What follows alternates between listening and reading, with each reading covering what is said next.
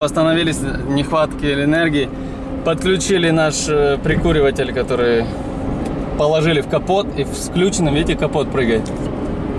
Вот, смотрите, спинометр работает, все классно, едем, все показано. Просто не хочу быстро ехать, а то взлетит капот, бахнет, разобьет окно. Ну, даже с таким должны принять. Просто никогда не думал, что сейчас буду когда-то в жизни что-то такое делать. 35 миль в час, неплохо, капот, Ле! Вот он и есть. Вот он и есть. Давай резко тормознем.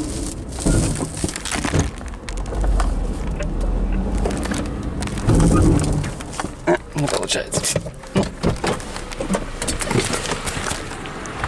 Красава, да? Я так и знал, что так может случиться. Ну.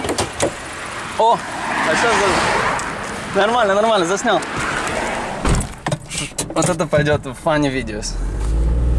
Ничего, мне не жалко машину. Она свою отслужила. Нет, жалко чуть-чуть.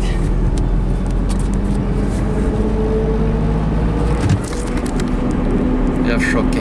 Со мной это случилось первый раз в жизни.